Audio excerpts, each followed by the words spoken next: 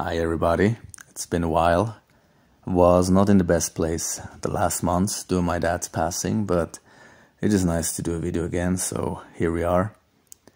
I was not really happy with how most Alder Lake reviews were done.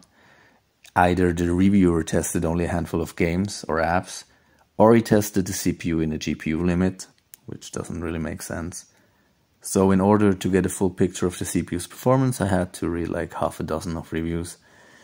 And but uh, luckily, one of my favorite tech outlets, 3dcenter.org, I uh, will put a link in the description, has compiled 29 launch reviews with nearly 3,000 application benchmarks and over 1,200 gaming benchmarks to give us a great summary.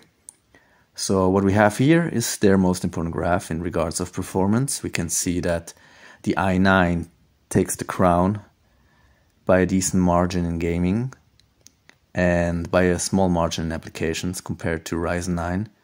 Important note though that in applications Intel achieves that only with a huge power draw.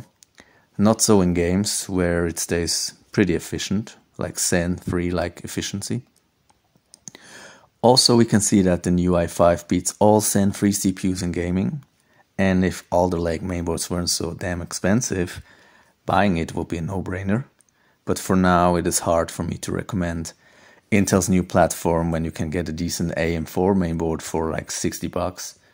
And with the upcoming Zen 3 CPUs with V-Cache, you have even a pretty nice upgrade path. And I think we can also see that sentiment in the current sales numbers not many people are buying Alder Lake at the moment.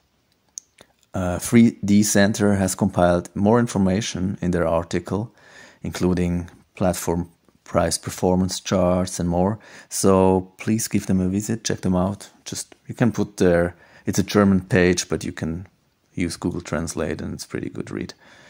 Also, in shameless advertising, I have a Twitter handle where I post news, free games, and also, which I think is pretty interesting, AMD, NVIDIA, and Intel sales charts.